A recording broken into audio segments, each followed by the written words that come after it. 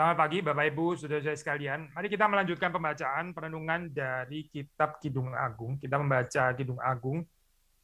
Kita membaca um, mulai dari pasal 6 ayat yang ke-13 ya. Karena kita belum selesai. Sebetulnya ini belongs to previous. Tapi kita baca 6 ayat 13, lalu kemudian mulai masuk pasal 7 ayat 1, 2, 3, 4, 5, dan terakhir kita membaca ayat yang ke-6 deh. Again, mungkin katnya kalau menurut bahasa Indonesia seperti kayak kurang pas gitu ya, tapi kita uh, ya akan membahas bagian ini. Saya baca uh, Kidung Agung pasal 6 ayat 13 deh. Kembalilah, kembalilah ya gadis sulam, kembalilah, kembalilah, supaya kami dapat melihat engkau. Mengapa kamu senang melihat gadis sulam itu seperti melihat tari-tarian perang? Pasal 7 ayat 1. Betapa indah langkah-langkahmu dengan sandal-sandal itu, putri yang berwatak luhur. Lengkung pinggangmu bagaikan perhiasan karya tangan seniman. Pusarmu seperti cawan yang bulat yang tak kekurangan anggur campur.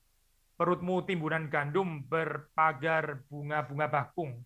Seperti dua anak rusa buah dadamu, seperti anak kembar kijang. Lehermu bagaikan menara gading, matamu bagaikan telaga di Hesbon, dekat pintu gerbang Batrabim, hidungmu seperti menara di gunung Libanon yang menghadap ke kota Damsyik. Kepalamu seperti bukit Karmel, rambut kepalamu merah lembayung. Seorang raja tertawan dalam kepang-kepangnya. Ayat yang terakhir yaitu ayat yang ke-6. Betapa cantik betapa jelita engkau, hai tercinta di antara segala yang disenangi. Demikian pembacaan firman Tuhan, mari kita masuk di dalam doa, kita minta pertolongan dan anugerah Tuhan. Tuhan berkati untuk perenungan pada pagi hari ini, engkau yang membelas kasihan kepada kami semua, baik kepada hambamu yang berbicara, setiap daripada kami yang mendengar, Tuhan menolong dan berkati juga saudara yang melayani di Aufi, berkati juga internet connection pada hari ini, untuk kami semua baik yang ada di gedung gereja maupun juga yang mendengarkan di secara live streaming. Tuhan memberkati supaya melalui perenungan ini sungguh-sungguh kehidupan kami dikuatkan oleh Tuhan, dibakar cinta kasih kami, dan kami semakin mengerti apa yang menjadi kehendak Tuhan, menjadi kesenangan Tuhan. Terima kasih Tuhan untuk pertolonganmu, untuk janji Tuhan. Dan kami menantikan firman-Mu, berkati hamba-Mu, berkati kami semua. Demi Yesus Kristus kami berdoa. Amin. Ya, sudah kita membaca ini ya, apa sisa satu ayat dari pasal yang sebelumnya di situ di sini ada certain interruption ya kalau sudah membaca.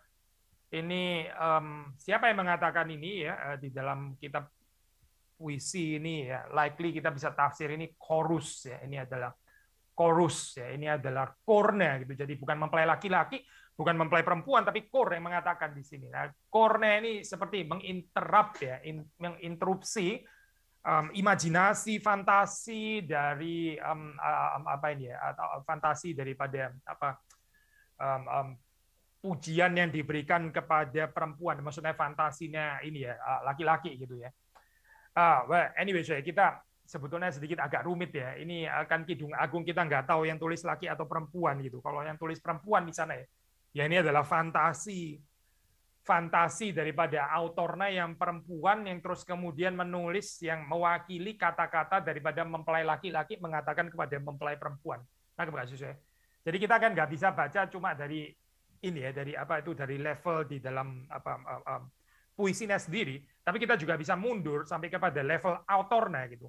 Nah, ada ada argumentasi saya itu ada sebagian scholars yang misalnya percaya bahwa ini kemungkinan juga autornya itu sebetulnya adalah perempuan. Dengan kata lain, Joy, waktu dia menulis bagian perkataan-perkataan laki-laki yang memuji ya apa ini um, um, perempuan, ya ini dari perspektif perempuan juga sebetulnya gitu. Jadi uh, kaya sekali ya, meskipun ini nggak mutlak tentu saja tafsirannya gitu. Bisa saja sih ini ditulis juga oleh laki-laki gitu. In any case ya, kita membaca di dalam bagian ini ini again bukan perkataan mempelai laki-laki, bukan mempelai perempuan, tapi ini adalah perkataan kur, ya, perkataan korus. Ya. Nah di situ saudara membaca di dalam bahasa Indonesia pakai istilah gadis sulam ya kalau di dalam bahasa apa eh, Inggris ini uh, sulam sulamite ya itu gadis sulam ya. Uh, konsonannya sama saya dengan Solomon ya. Solomon, Salomo ini Shulamite ya. Uh, sama sebetulnya di dalam bahasa aslinya, even di dalam terjemahan Indonesia dan terjemahan bahasa Inggris sudah bisa mendapatkan refleksinya juga gitu kan. Ini kan konsonannya sama. Jadi uh, female counterpart ya di dalam imajinasi nah ini royal imagination ya. Uh, saya cenderung percaya ini sebetulnya berkaitan dengan ini ya apa um, uh, dua dua mempelai yang orang sederhana baik yang laki maupun yang perempuan. Tetapi di dalam fantasi mereka itu mereka menggunakan menggunakan royal imagery gitu. Jadi sampai ke atas gitu ya maka sudah melihat di sini ya um, um, female counterpartnya ini kan laki-lakinya yang mempelai laki-lakinya yaitu seperti Salomo gitu. Imajinasinya itu di dalam kemegahannya Salomo gitu. Nah di dalam hal ini saya perempuannya itu pakai counterpartnya itu ya Shulamite ini ya. Maksudnya um, uh, cocok lah gitu ya. Ini Salomo uh, Sulamite ya, atau uh, Sulam ya. Nah, terus kemudian kita melihat di sini ada um, tambahan motif baru yaitu tari-tarian ya, tari-tarian. Mengapa kamu senang melihat gadis sulam itu seperti melihat tari-tarian perang ya. Tari-tarian and yet ada perang di sini ya. Ini dansa ini tari-tarian ini ada kaitannya dengan perang ya. Nah, um, ya kalau kita bicara tentang tari-tarian saja sih tafsirannya lebih sederhana ya, simply menggambarkan uh, sukacita gitu ya orang mengekspresikan apa ini ya sukacita melalui tarian gitu kan bisa kan ya. Tapi ini kan ada tarian dan terus kemudian juga ada kaitan dengan uh, perang ya. Nah ini sudah bisa bayangkan maksudnya kalau di dalam zaman dulu ya ini ada apa ya perempuan-perempuan ya itu yang berespons terhadap pahlawan-pahlawan yang pulang dari perang dan menang ya. Terus kemudian perempuan-perempuan itu menari gitu ya. Maksudnya tarian perang itu dalam pengertian ini ya. Sekali lagi ya saya, perempuan-perempuan yang menari ya uh, itu di dalam zaman dulu ya kalau ada pahlawan-pahlawan perang itu pulang ya dan mereka menang ya. Mereka disambut dengan tarian-tarian perempuan. Uh, ada istilah mahanayim juga di sini ya, hamahana hamahanayim ya. Sekali lagi ya, Hama Hanayim dan ini secara sound di dalam bahasa apa itu uh, um, um, Ibrani itu um, cukup dekat dengan istilah dance gitu at least menurut Richard Hess ya dia mengatakan seperti itu. Um, tapi intinya sekali lagi ya ini simply meng mengkomplitkan um, gambaran secara poetis gitu ya. Um, yang kita bisa baca di sini adalah kaitan tarian dengan battle ya. Ditambah lagi itu ya saya apa um, juga ada bahasa Ibrani ini ya mahaneh ya. Itu um, yang artinya itu adalah kem ya. Kem itu um, jadi ini kalau saudara kaitkan dengan hamahanayim ya terus kemudian ada mahaneh ya itu kem ada apa ya ini um, um, soundnya itu matching ya soundnya matching dan ada kaitan dengan nuansa peperangan ya ini adalah um, bukan satu hubungan yang gampang yang trivial gitu ya. Tapi satu uh, hubungan cinta yang bukan tanpa peperangan ya. Yang diperoleh bukan tanpa peperangan, freedom dan sebagainya. Kemungkinan untuk mencintai itu um, kalau kita boleh tafsir ya di dalam bagian ini ya, ada kaitannya dengan kemenangan di dalam peperangan gitu. Tentu saja waktu kita bicara tentang peperangan di sini, kita nggak mengartikannya peperangan di antara dua mempelai itu pasti bukan itu ya kacau kalau ditafsir seperti itu tapi ini adalah kemenangan peperangan dari mempelai laki-laki terus kemudian yang disambut oleh mempelai perempuan ya cinta yang sejati itu saya uh, sekali lagi ya bukan tanpa kesulitan bukan tanpa peperangan ya dan ini masih di dalam bulan Februari ya kadang-kadang kita apa kalau nggak sadar ya kita bisa konsep cinta itu sangat dipengaruhi oleh gambaran Valentine's Day yang yang yang rada apa ini ya apa sangat dangkal ya purely romanticism saja. Saya bukan mengatakan di dalam cinta nggak ada aspek romantika, ada tentu saja gitu ya. Tapi kalau cinta hanya dimengerti di dalam pengertian uh, ala Valentine's Day gitu ya, uh, um, apa ini namanya saya um, fine dining ya, remang-remang, ada lilin gitu, terus ada orang main banjo ya. Ya ini nggak cocok sesuai dengan gambaran ini. Gambaran apa itu? Gambaran uh, cinta di dalam bukan cuma di dalam Kidung Agung tapi juga di dalam kitab suci ya saya ada orang yang tulis saya, saya percaya sudah juga baca ya ya waktu tanggal 14 Februari dan orang tulis ini kan ya. Uh, tahu nggak bahwa itu ya biografinya uh, Saint Valentine ya dia itu mati martir uh, mati martir ya karena kepercayaannya kepada Kristus ya. dia mati martir di executed ya jauh kan ya sama Valentine's Day yang Michelin star makan-makan fine dining would you like this wine dan sebagainya gitu. Kayaknya jauh sih jauh saya itu. Itu gambaran cinta yang seperti itu meskipun nggak sepenuhnya salah ya. Tapi kalau kita mengerti cinta di dalam aspek seperti itu again tanpa peperangan tanpa kematian ya tanpa berdarah berdarah I think um, kita bisa sangat salah mengerti loh saya konsep kasih di dalam Alkitab kita pikir ini ya gambaran romantisisme yang menyenangkan gitu ya gambaran apa itu um, um, um, um, lukisan ala Thomas Kincaid gitu misalnya ya, yang kita suka untuk berada di dalamnya gitu Um, tapi sudah melihat di dalam catatan kitab suci ya, nggak nggak trivial seperti itu saya. Ya kembali lagi ya saya kepada Yesus Kristus. Dia menyatakan cintanya dan dia mati di atas kayu salib gitu. Itu cinta. Cinta itu dengan darah ya, cinta itu dengan pengorbanan bahkan pengorbanan bukan cuma sampai luka tapi sampai mati di atas kayu salib ya. Itu yang kita pelajari dalam kitab suci. Bukan dengan fine dining saya, bukan gitu. Bukan dengan kembang lah atau apa gitu ya ini kasih kembang gitu terus kemudian ini anu loh tulip loh ini dari Belanda loh dan sebagainya dan sebagainya itu gambaran terlalu trivial saya untuk bicara tentang cinta gitu waktu kita merayakan ini saya apa eh, kita agak terhenti ya saya perjamuan kudus karena ya covid kan lagi menaik doakan supaya kita kembali bisa ada kesempatan ya, perjamuan kudus gitu um, tapi saudara perhatikan ya di dalam perjamuan kudus ya memang itu ada makan-makan ya ini ada makan-makan deh. Tadi kita bilang Valentine itu makan-makan fine dining. Ini juga makan-makan sih, makan dan minum deh. Tapi kita kan bukan makan di dalam pengertian itu ya, ini sangat serius kan waktu kita makan dan minum. Karena kita mengenang tubuh yang dihancurkan, kita mengenang darah yang dicurahkan. Dan itulah konsep cinta yang ada di dalam Alkitab saya. Nah, kita mesti apa eh, mengerti ya waktu kita bicara cinta ya ini cinta itu berarti jalan salib yang enggak ada jalan salib itu pasti cinta murahan. Demikian kalau kita membaca di dalam bagian ini ya, saya meskipun indirect ya, kita balik lagi kepada Kidung Agung. Uh, nama ayat yang ke-13 di sini ada tari-tarian perang ya. Enggak uh, freedom itu ada cost yang harus dibayar ya. termasuk freedom to love ya. Freedom untuk mencintai itu ada cost yang harus dibayar. Ini bukan taken for granted terus tiba-tiba begitu saja begitu ya. Uh, tidak gitu. Ada orang tulis dokumenter ya tentang ini ya tentang reformasi ya eh, kalau boleh sedikit mengaitkan ke sana ini footnote saja gitu. Reformasi sudah tahu ya itu dibayar dengan harga yang mahal ya. Itu membeli kebebasan ya dari uh, tirani gereja pada saat itu ya, pada saat itu gitu. Uh, jalannya itu bukan jalan yang mudah gitu. Bahkan nggak selesai hanya dengan um, peristiwa Luther. Jangankan hanya dengan 95 tesis, nggak selesai sampai dengan apa ini sampai Luther meninggal ya masih belum selesai itu ceritanya itu. Saudara kalau mengikuti apa membaca itu, sejarah Eropa itu ada 30 years war ya. 30 years war. Itu itu bloody war ya, betul-betul kematiannya banyak sekali. Saya kalau saya nggak salah ingat ya, itu sepertiga penduduk Eropa kalau saya nggak salah ingat ya, saya mesti cek lagi sih. Sepertiga penduduk Eropa itu meninggal saya gara-gara 30 years war.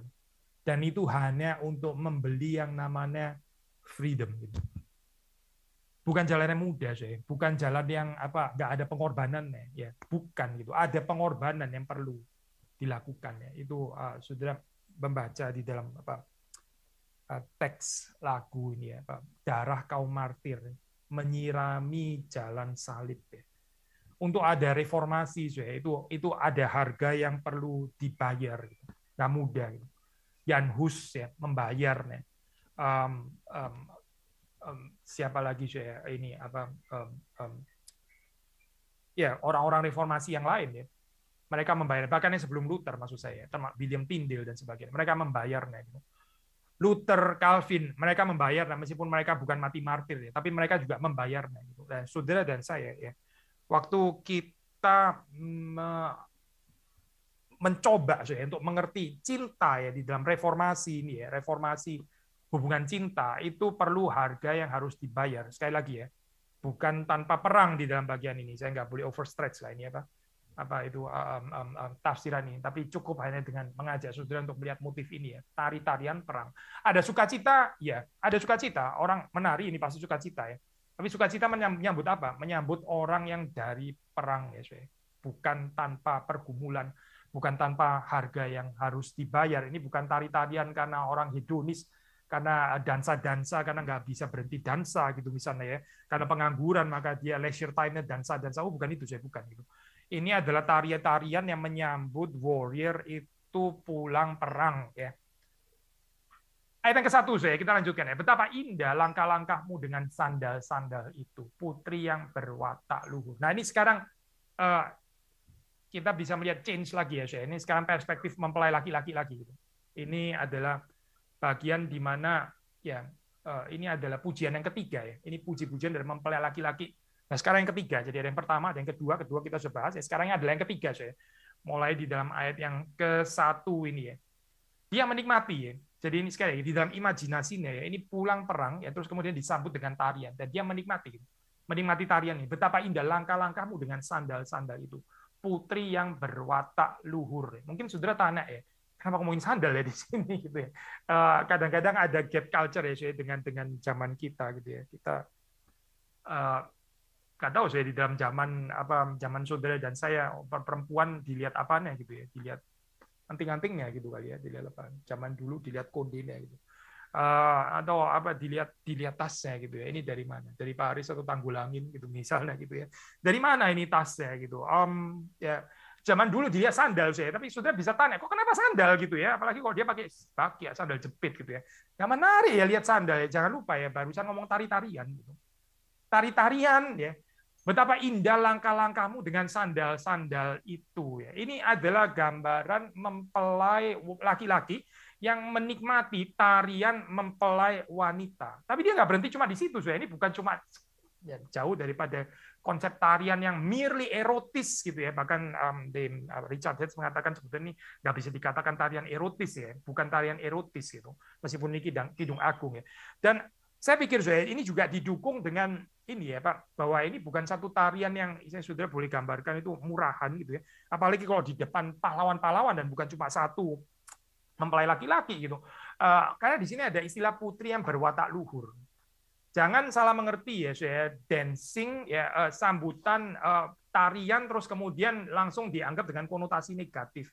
Wah ini perempuan nakal ini kan ya perempuan nakal ini perempuan penggoda ini uh, nari-nari supaya apa itu laki-laki um, um, uh, itu jatuh terjerat gitu kepadanya gitu ya di dalam apa um, tarikan sensualisme dan sebagainya. Oh jauh sekali sudah daripada itu. Meskipun nanti ya nanti nanti nanti kita akan bicara ada motif yang let's say mungkin lebih cocok kalau kita mau pakai istilah menjerat gitu ya. Tapi nanti ya saya di dalam bagian ini tidak ada. Kenapa saya? Karena dia bicara putri yang berwatak luhur.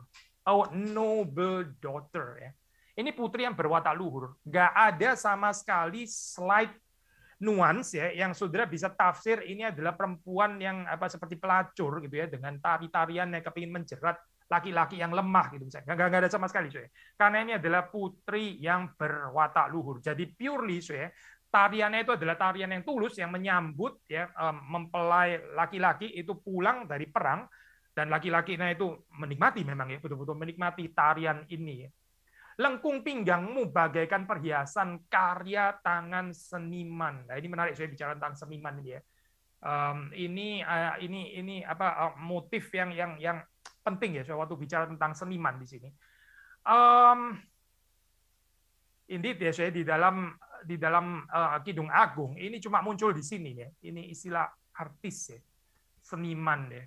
Aman ya itu needless to say ini adalah um, alusi ya. Ini adalah satu allusion satu rujukan indirect kepada sang pencipta ya kepada Allah. Dan ini penting sudah untuk Kidung Agung ya. Sudah kalau membaca di dalam Kidung Agung saudara mungkin bertanya ini kitab kok sekuler banget? Gitu ya. Sekuler banget gak ada Allahnya gak ada Tuhan ya gimana sih ini? Gitu kan ya um, seperti kayak kitab Esther seperti kitab Ruth juga gitu kan ya. Ini nggak ada Tuhan nggak ada Allah dan sebagainya. Kitab gini kok bisa masuk kanonisasi dan sebagainya gitu. Uh, saudara salah mengerti ya saya kalau saudara menafsir seperti itu ya. Justru karena ya di dalam pemikiran penulis ya, ya ini kehidupan cinta mencintai kehidupan pernikahan ya kenikmatan seks bahkan ya itu dimengerti sebagai pemberian Tuhan ini adalah the gift of creation jadi nggak mungkin saya bisa memikirkan ini tanpa konteks creation nggak mungkin kita nggak mungkin bisa membicarakan tentang uh, bahagia pernikahan ya tanpa teologi penciptaan. Itu nggak mungkin banget sudah di dalam pikiran penulis Kidung Agung. Gitu. Jadi kalaupun dia nggak menyebut nama Allah gitu ya, saudara jangan terus kemudian melihat fenomena terus kemudian kita judge gitu ya ini orang sekuler kayaknya gitu ya. Yang betul itu adalah orang yang setiap kali ngomong setiap tiga kalimat harus ada kata Tuhannya gitu. Misalnya tiga kalimat sekali ada Tuhan ada kata Yesus dan sebagainya. Jangan-jangan itu sebetulnya adalah orang yang memainkan nama Tuhan dengan sembarangan. Kita jangan tertarik dengan fenomena-fenomena lah saya di dalam pengikutan kita kepada Tuhan gitu. Yang lebih penting itu adalah sikap hati seseorang itu bagaimana gitu again ya di sepanjang Kidung Agung ini nggak ada nggak ada sudah nggak mendapati Allah Tuhan dan sebagainya. Tapi bukan nggak ada illusion di dalam bagian ini ya saya ini sebetulnya uh, istilah artis ini ya. Siapa lagi artis ini ya? Kalau bukan sang pencipta. Kalau bukan Tuhan yang bisa menciptakan keindahan seperti ini. Jadi ini ada theological um, uh, purpose ya di dalam Kidung Agungnya Kidung Agung itu nggak pernah mengajak saudara untuk menikmati keindahan ciptaan Tuhan terlepas daripada ibadah kepada Sang Pencipta. Sekali lagi ya, saya. Kidung Agung nggak pernah mengajak saudara untuk menikmati ya keindahan ciptaan Tuhan terlepas dari ibadah kepada Sang Pencipta. Ya. Apalagi kita bukan cuma percaya Sang Pencipta, Sang Pencipta dan Sang Penebus juga gitu kan. Itu nggak mungkin terlepas daripada ini gitu. Mereka berusaha melepaskan itu. Saya pikir mereka sendiri yang bermasalah, bukan penulis Kidung Agung yang bermasalah. Karena di dalam worldview Kidung Agung itu adalah sesuatu ketidakmungkinan saya. Ketidakmungkinan bisa membicarakan tentang kebahagiaan pernikahan, ya uh, sukacita ini yang diberikan gift of creation. Without the creator is simply impossible. Saya betul-betul nggak mungkin itu. Tapi saudara dan saya, ya, persoalannya kan kita di dalam dunia modern yang sering kali dualis gitu ya. Uh, pasca enlightenment, maksudnya somehow masih ada ke bawah enlightenment kita sering menghidupi dualisme seperti itu gitu kan ya. Kita kita takut kalau kita terlalu senang gitu misalnya ya. Kita takut kalau um, kita terlalu banyak makan. Well, sudah di kelapa gading sih kayaknya enggak memang gitu. Um, kita takut kalau kita terlalu banyak membicarakan tentang seks dan sebagainya gitu ya. Kita takut gitu karena apa nanti dianggap kayak kurang pietis gitu misalnya. Kurang beribadah kepada Tuhan. Uh, sekali lagi ya, saya ya. Dualisme kayak gitu nggak ada di dalam Alkitab gitu, nggak ada mereka bisa explore sampai luar biasa dalam gitu ya sampai kita waktu baca wah ini erotik banget ya gambaran seperti ini ya ini highly sensual gambarannya. Tapi mereka nggak pernah lepas daripada sikap ibadah kepada Tuhan. Nggak pernah menjadi berhala. Bahkan minggu lalu kita sudah pernah bahas kan ya itu waktu menggambarkan sampai pakai benda-benda di langit gitu ya bulan lah surya ya fajar dan sebagainya yang di dalam apa kepercayaan Kanaan itu dianggap sebagai dewi dewa ya sudah nyerempet-nyerempet kepada berhala itu sebetulnya gitu. Tapi tidak, tetap itu bukan berhala saya. Kenapa? Karena beres. Ini semua dimengerti di dalam konteks theology of creation, di dalam konteks ciptaan Tuhan yang indah itu. Dan tentu saja waktu kita bicara ciptaan, nggak mungkin nggak membicarakan pencipta.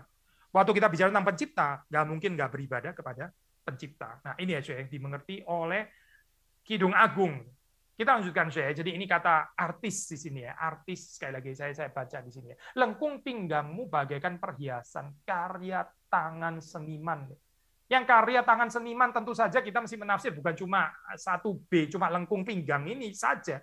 Tapi semuanya ya termasuk ayat 2, ayat 3, ayat 4, ayat 5 ya semuanya ini adalah karya tangan seniman dan ini sedang dikagumi ya oleh mempelai laki-laki. Meaning apa sih? Meaning ya ini sebetulnya juga adalah ekspresi cinta, ekspresi ucapan syukurnya kepada Sang Pencipta gitu.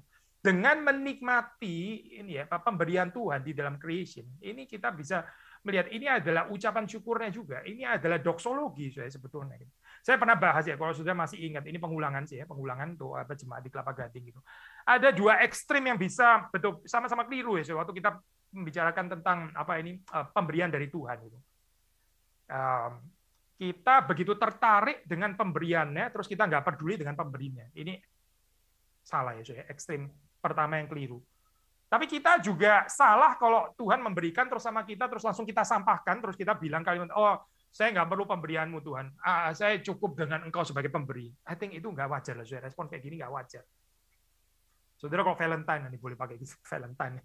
Valentine saudara dapat bunga gitu ya dari pacarmu atau dari suamimu atau um, kalau dari istrimu mungkin agak janggal. Um, saudara pakai dapat bunga gitu ya. Um, saudara bagaimana harusnya? Ya saudara kalau wajar ya, kalau waras, saudara terima itu, terus kemudian saudara peluk pasanganmu, begitu kan ya? Saudara bilang thank you. Gitu. Yang nggak wajar itu adalah waktu saudara terima bunga, terus saudara masuk di dalam kekaguman terhadap bunga, terus saudara usir pacarmu, lu lu pergi-pergi sana, lu mengganggu pandangan saya terhadap bunga ini. Kurang ajar ya, pacar kayak begini gitu. Ini ekstrim satu yang keliru ya. Pemberiannya kita tertarik ya, memberhalakannya, tapi terus kita buang ya pemberinya. Tapi ada ekstrim kedua ya, sudah terima terima kembang, terima bunga, terus sudah langsung oh pacarku bunga ini nggak ada harganya dibanding dengan engkau langsung dibuang ke tempat sampah gitu apa artinya bunga ini dibandingkan dengan engkau gitu maksudnya ini orang sinting ya saya orang gendeng ini saya seperti ini gitu dia nggak bisa menghargai pemberian berarti sama ya saya sudah membaca di dalam bagian ini ya. Um, um, sang laki-laki mempelai laki-laki ini ya.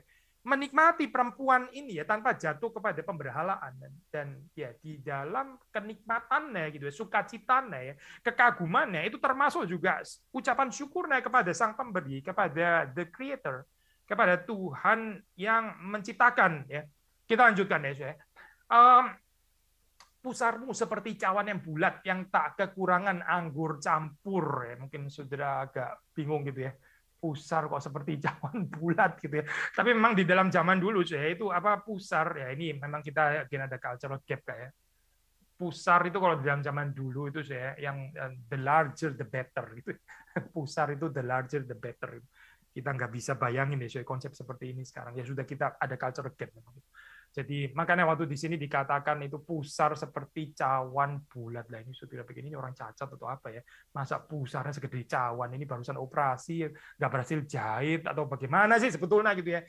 Kita ada cultural gap tapi kita masih mengerti di dalam ini ya apa eh, konsep Near East pada saat itu ya itu pusar yang besar itu itu adalah uh, keindahannya. Maka nggak heran waktu sudah membaca di dalam bagian ini ya digambarkan apa ini um, digambarkan apa ini. Seperti cawan yang bulat.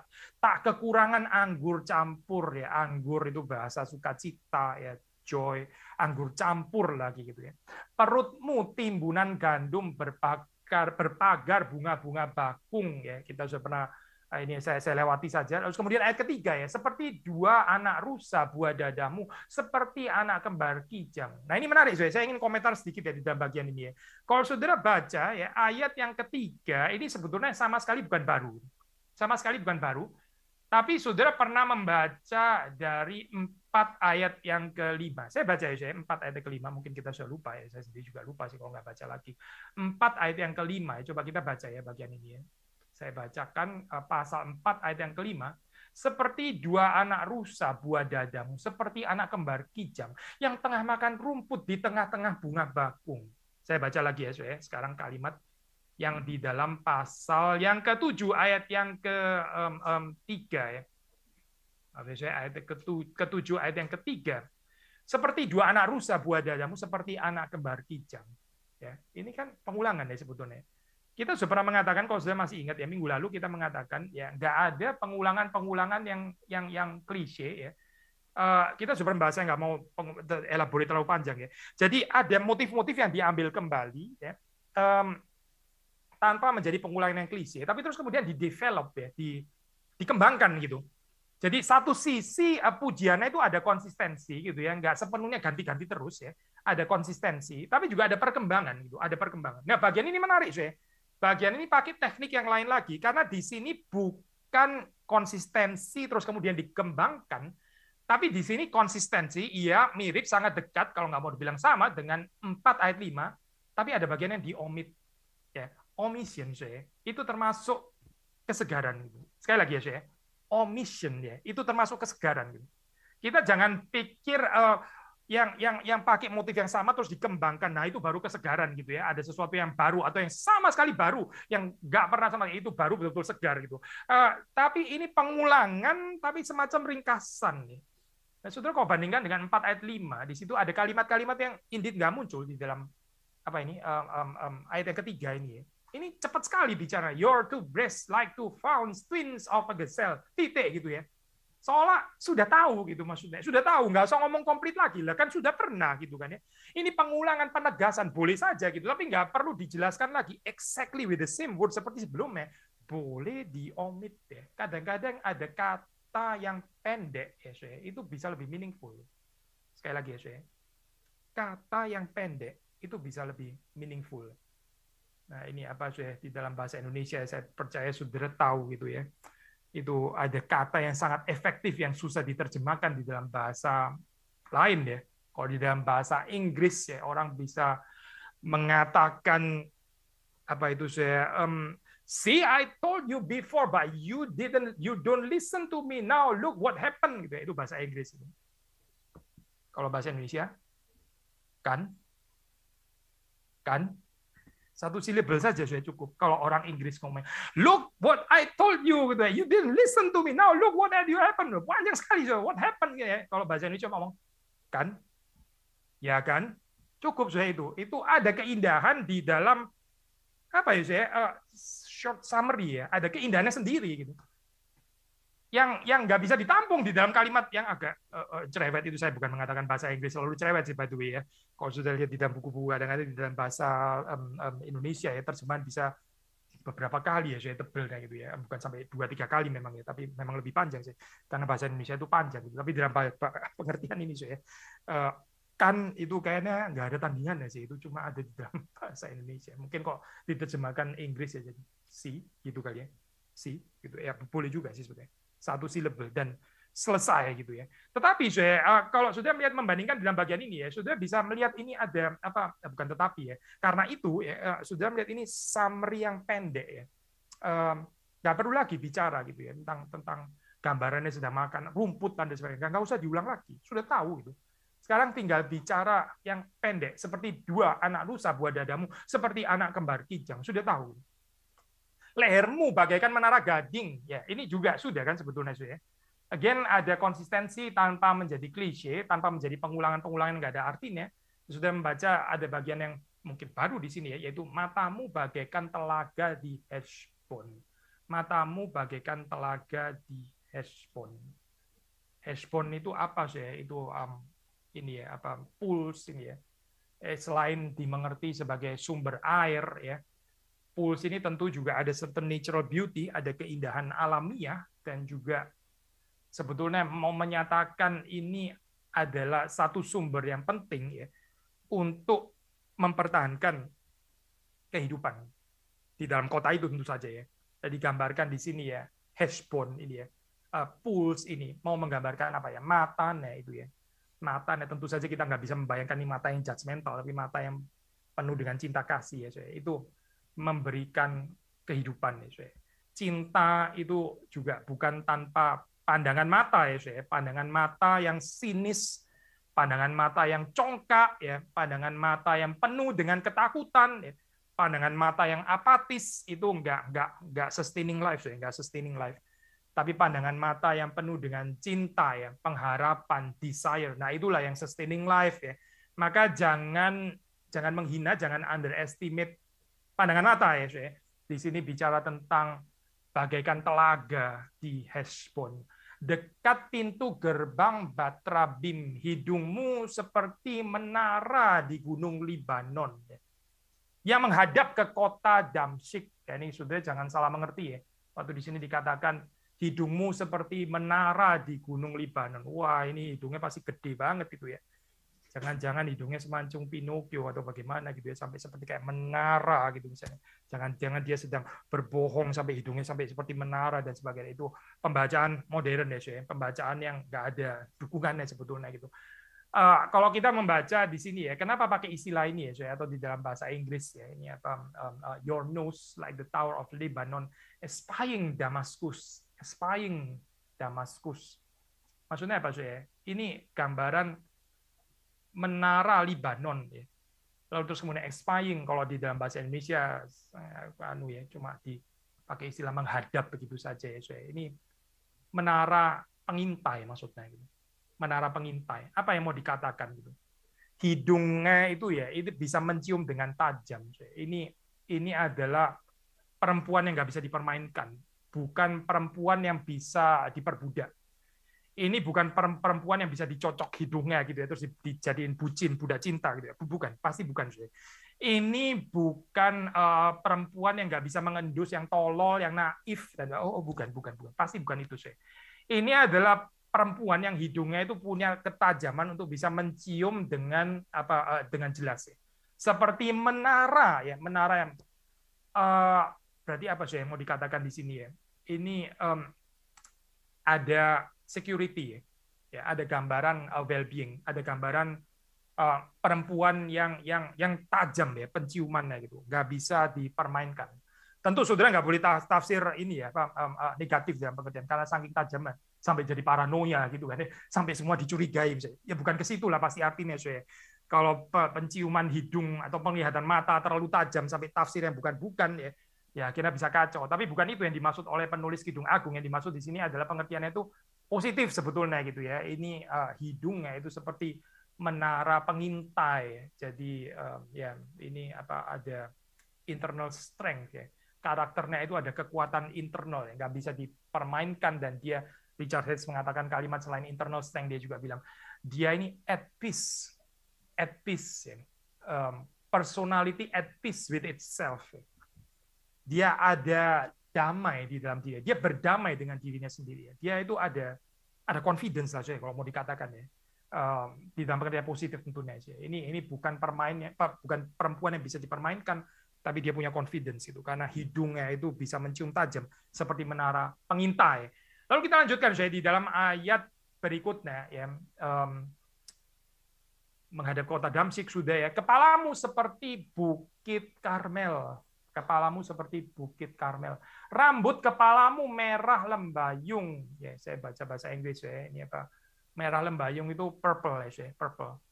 Kita bahasa Indonesia kadang-kadang agak rumit ya saya. Purple maksudnya gitu ya. Ada Karmel, ada purple di sini ya, uh, rambut ke kepala merah lembayung ya. Kita kalau pembacaan modern, nah ini dia gitu kan ya. Ternyata ya Kidung Agung itu sudah suka ini ya, Bang ngecat rambut dengan warna-warna gitu ya. Ada yang ungu, merah, hijau ya, uh, uh, uh, orange dan sebagainya. Well, kayaknya itu pembacaan modern sih saya nggak nggak masuk lah itu gambaran kayak begitu. Lah tapi ini dibilang rambut kepalanya merah lembayung, bukankah oh, warnanya ini kan apa ungu? Berarti main cet-cetan sudah dari dulu gitu kan ya. Ternyata yang ungu, yang purple itu bukan cuma pakaian, tapi rambut juga sudah bisa dicat dalam zaman dulu.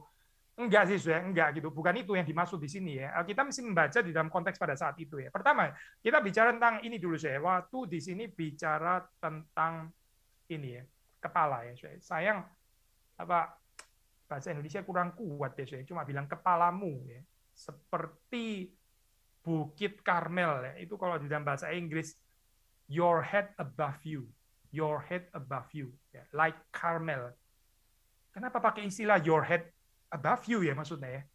Maksudnya ada kepala di atas kepala lagi atau kenapa pakai istilah above you gitu? Apakah yang disebut you itu nggak termasuk uh, kepala gitu? Ah, ini apa ya pembacaan saintifik kayak gini nih annoying gitu ya. Uh, um, ini kita puisi sekali lagi gitu jadi kita nggak baca kayak gitu. Uh, lalu bagaimana dong bacanya gitu kan ya? Uh, begini saya ini berarti dia sudah menyelesaikan scrutinize ini ya. Scrutinize in all parts of the body itu sudah di scrutinize dan dipuji satu persatu dan sekarang sudah terakhir maka bicara your head above you masuk yang lain semua di bawah itu sudah di sudah diselesaikan ya sudah disinggung satu dan sekarang balik lagi kepada kepala your head above you saya kutip ini ya saya uh, Richard Hess ya di dalam hal ini. The poet will return to marvel at distinctive features, but the sweep of the whole body has now been completed. The sweep of the whole body has now been completed ya, sudah selesai. Makanya pakai istilah your head above you.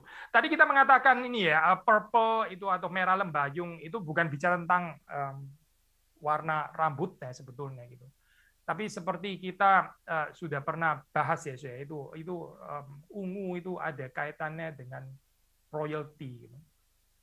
Ungu itu ada, yang bisa yang bisa uh, afford warna ungu itu ya, eh, cuma orang-orang yang yang ya seperti raja gitu ya. Itu bisa afford warna ungu karena itu mahal sih. Dan kenapa di sini muncul Carmel? Karena ini ya, apa ini produksi industri ini ya uh, royal dye yang warna ungu ini diproduksinya itu di daerah Tyre itu north sebelah atasnya uh, Carmel. Jadi Carmel di sini ini connected dengan warna ungu sebetulnya ya, like Carmel ya. Carmel itu adalah kota yang menghasilkan ini sih ya, Pak, cat warna ungu gitu.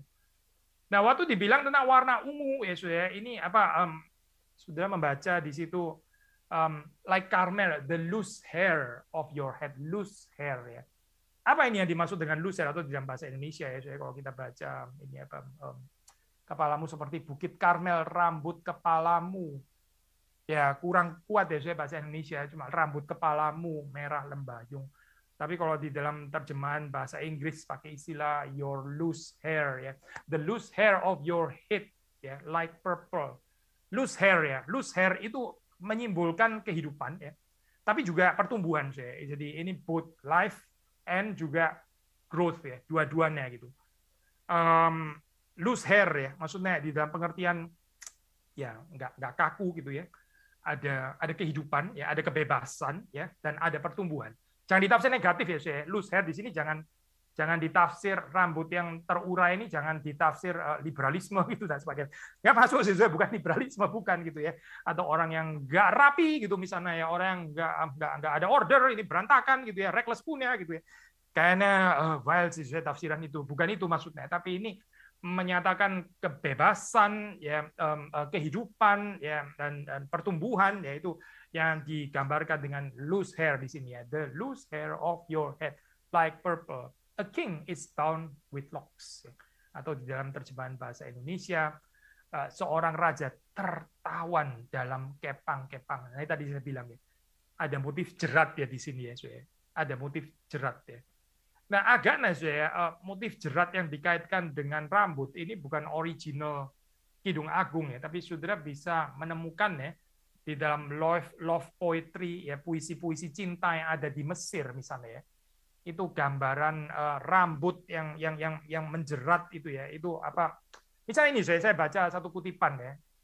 Um, her hair is the bait in the trap to ensnare ya to ensnare me. Ini salah satu apa itu uh, dalam puisi cinta Egypt gitu ya. Uh, agaknya uh, cukup common saya ini gambaran apa ya?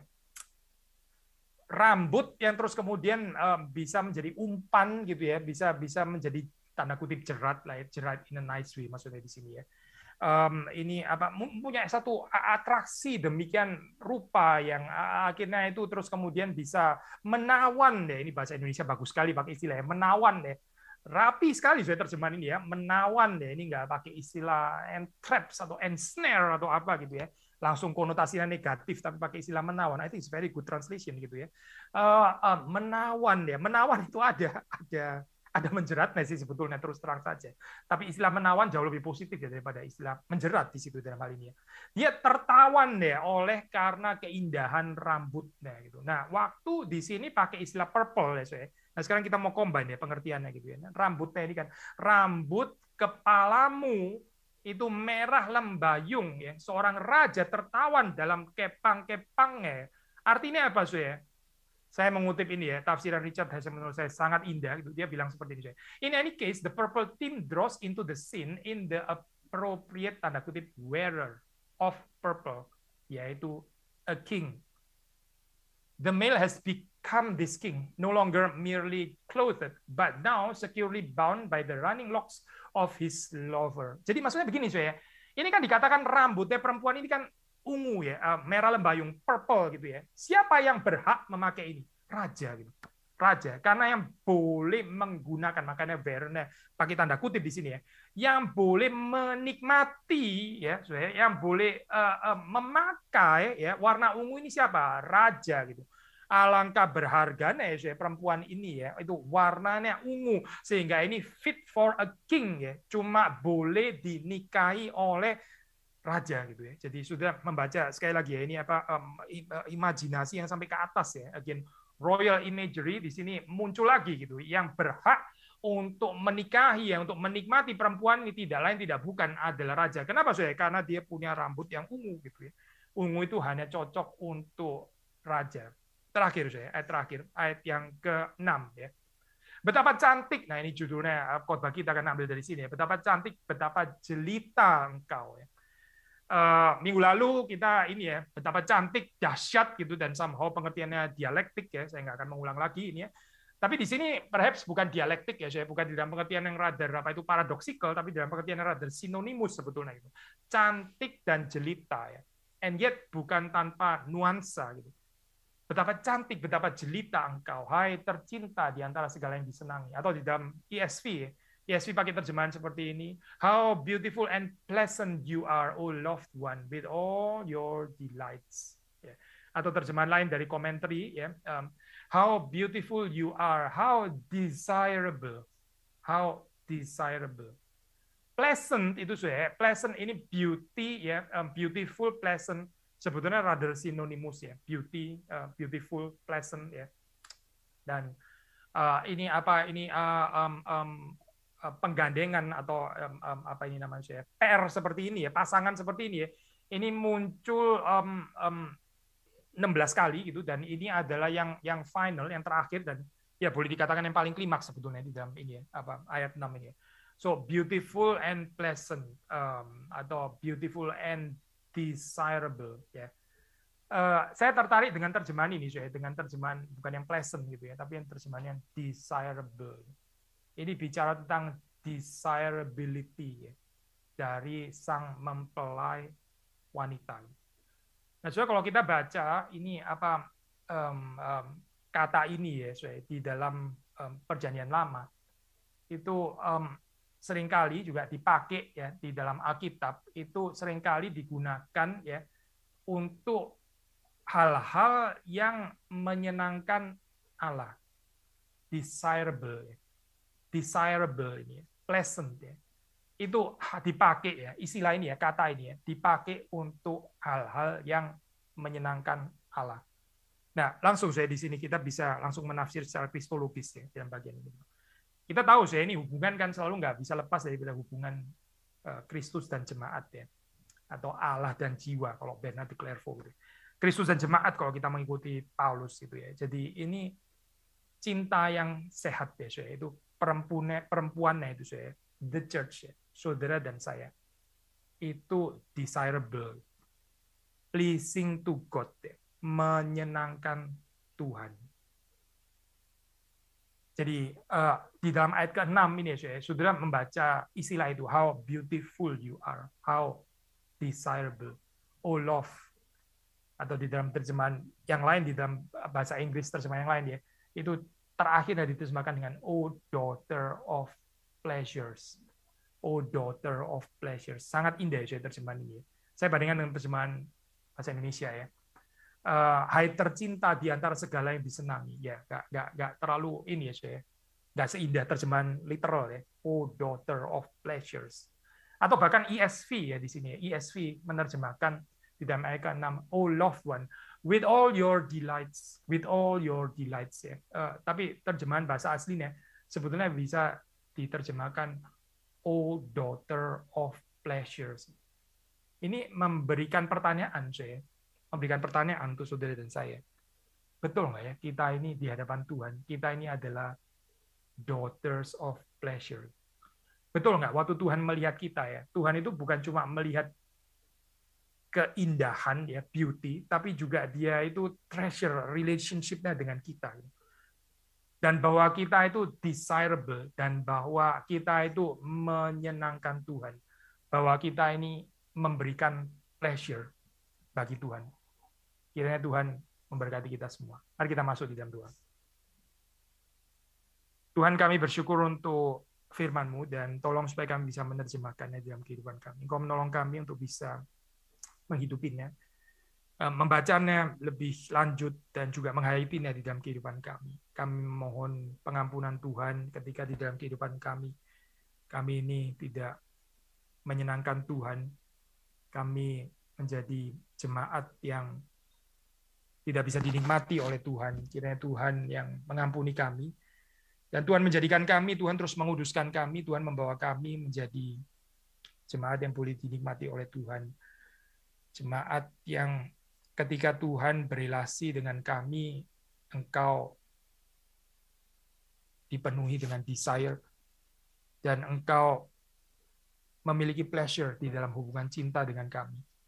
Terima kasih Tuhan untuk kesempatan kami bisa merenungkan firman Tuhan, dan sekali lagi mohon apa yang kami bicarakan, apa yang kami renungkan, apa yang kami dengar pada hari ini, Tuhan hidupkan di dalam gereja.